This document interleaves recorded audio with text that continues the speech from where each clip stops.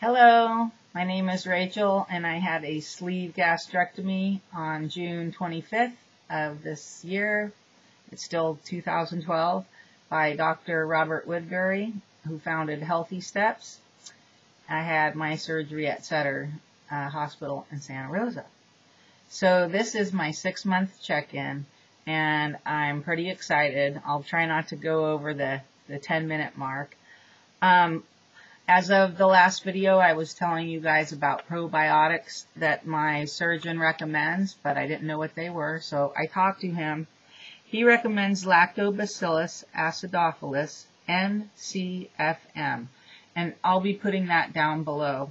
Um, it actually survives the transit, the trip through your stomach. Um, it can help prevent diarrhea in children. Uh, it'll, it'll make your overall digestion better. Uh, it will, if you have any intestinal problems, it'll return your gut flora back to normal. The other one that he recommends is Lactobacillus rhamnosus. and I'll definitely be putting that down there too. And this has a slightly different effect. Um, it can reduce respiratory tract infection in children and it affects your GABA neurotransmitter reception, you know, things that fire in your brain that, you know, tell your body what to do and stuff. Um, but the effect that it has on the neurotransmitters is it actually uh, reduces stress and um, anxiety, believe it or not. So that's my report on probiotics. Um, so from that, I'll go right into meds. Um, I've been on Prilosec for five months, and that's a long time. It's really not recommended for more than, I think, about six weeks. And um, the side effects can be osteoporosis, like bone fracture, also liver damage. Um, I didn't know that long-term use could be that dangerous. So I'm back on my Pepcid Extra Strength. You know me. This is generic. Um, and I'm taking 40 milligrams in the morning, and then I take them, take it again at night if I need it. I just switched over a few days ago. So far, so good, as long as I'm not eating salsa. um, you guys, I got my six month labs in, and um, I'm totally healthy. I just, I could almost cry. Um, my iron levels are good. Um, the B vitamins and B vitamins haven't come in yet, but everything so far looks good. My lipid profile is fabulous. Um, my total cholesterol is 164 and 200. They're happy with 200. That's optimal. But I'm at below risk for having a heart attack. And 100 pounds ago. I always do this. Um, I was two to three times the risk of heart attack because of all the weight I was carrying around. So this truly is um, an amazing process. Um, let's see, blah blah blah. Um, I'm still taking Actigall. Its uh, true name is Ursodiol, and that's so I don't get gallstones because I'm losing weight so fast.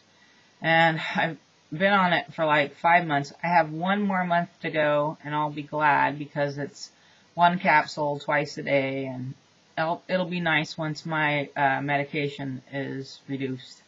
Not taking so many pills. Um, I'm still taking the Celebrate multivitamins, chewable, mandarin orange and they're made for bariatric patients. I'm also taking a Citracal plus D3. Uh, of course, I have the generic, but you can compare them to Citracal uh, Petites. And taking all my regular medication. My blood pressure medication, uh, Benazepril. I actually used to be on two blood pressure medications before I started losing my weight. When I started losing my weight, last January. It's almost been a year. And when I got 30 or 40 pounds into it, out the window went the second um, blood pressure med. Then I was only on 20 milligrams of the Benazepril.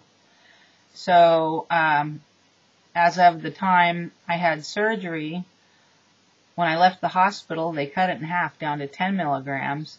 And mind you, my blood pressure's been, you know, at the acceptable limit. They're, they're doing it right. So as of last week, here I go again, um, my blood pressure medication's cut down to 5 micrograms or milligrams. I don't know. But, um, that's a reduction of 75% on my blood pressure. And my blood pressure's just never been better. Um, I didn't realize the impact on my health that the surgery and losing all this weight would be. I mean, I knew that, okay, I'd lose the weight, I'd feel better, my health would be better, but the specifics really are, are like blowing my mind. Um, so, happy camper there. Let's see, let's see. Oh, this is going to freak you guys out. So I've been telling you about all the hair loss that I've had, and it's no joke. I can't, I don't part my hair straight down anymore in front. I do it to the side because the bald spot on top, and you, you can tell my hair is kind of a little dry and funky. I'll start it easy with you guys. Uh, this came out of the drain. As you can tell, they're long hairs, so my hair is coming straight out of the roots.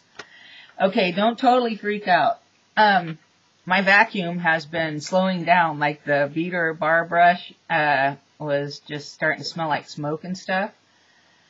This is not all my hair. Some of this is carpet fiber, but about 98% is my hair. Do, do, do, do, do, do, do, do, And this part is definitely my hair. You can see how it wrapped around the beater brush, and I had to cut it. Um, yeah, that's not even cat hair mixed in because my cat has short hair, so the dander goes right up into the vacuum. I have a bagless vacuum. So yeah, that's where it all goes. I'm sure I have a big clump's worth in my car and, you know, I'm always sweeping it up off the floors. But you know what? I'm at six months. Um, so as my weight starts to taper off, you know, this is reversible. My hair is going to grow back in thicker and fuller than ever um, um, um, um, so my weight loss is slowed at the six month point. That is normal. Uh, my last check-in, I was 233. I'm 230 pounds, um, which is just fine.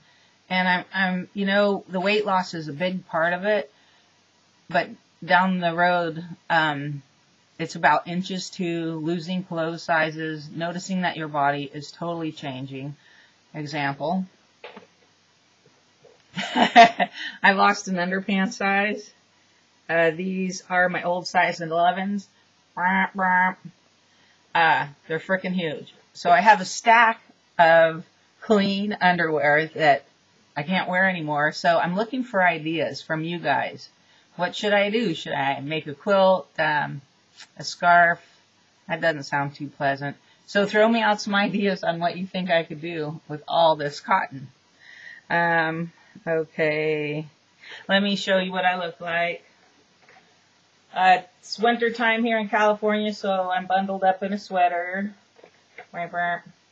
So, let me take it off actually.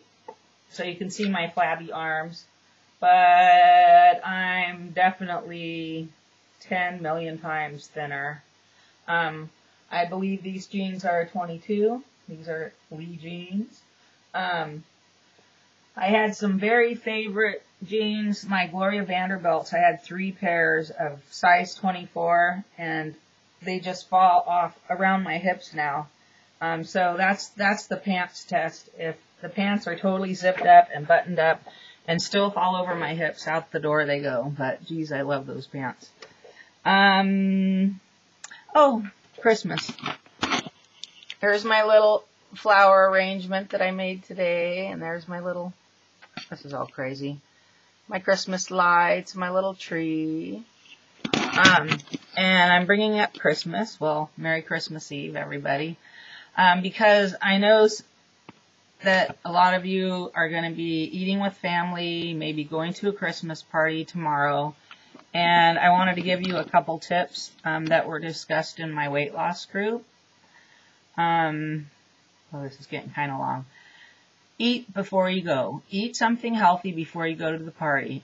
Or, well, it's a little different eating with your, your family, but if you are going outside from your own house, eat something. You're less likely to hit the hors d'oeuvre table or overeat uh, if you are not hungry when you go. You know, also, you know, for me, the holidays really are about visiting with people, getting to know them better. And here's a little trick that if you have had um, bariatric surgery, you know, in your glass, put some water in it and walk around and sip your water because we all know that you can't drink liquids and eat at the same time. So that's a good little um, trick. Uh, gosh, what else? Just make really good choices. You know, for me, at six months out, I don't deprive myself anything, but it's the amount. I can have a teaspoon of something sweet. I don't recommend starting on sweets if you're the type of person that tastes sugar and then just goes nuts on it. Um, I'm I'm not like a sugar crazy person, so you know, uh, for Thanksgiving, um, everybody had a big plate, and I had my little plate with like a tablespoon of everything, and I was just totally happy. I just don't get stuck into that trap of indulging in rich, sweet things. Well, I'm not sure how long this has gone on, but it seems like long enough. Uh, thank you to my new subscribers. There was a lot this last month. Ladies and gentlemen, thank you so much for your support. And uh, you guys motivate me to do my best. Anyhow, I think that's about it. So have a great Christmas and a great morning or evening wherever you are. And I will see you next time. Thank you. Bye.